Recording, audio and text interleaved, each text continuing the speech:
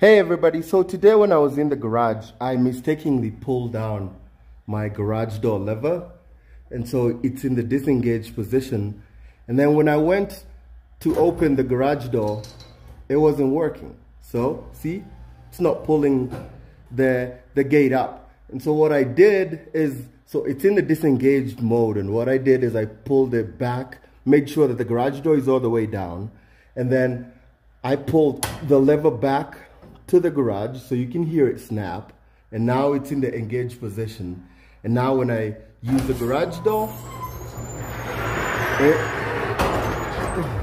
it pulls it pulls it pulls the garage door back in place. And so yeah hopefully that will be helpful to somebody if you mistakenly pull down your lever of your garage door. That's the easy fix. All right. Thank you guys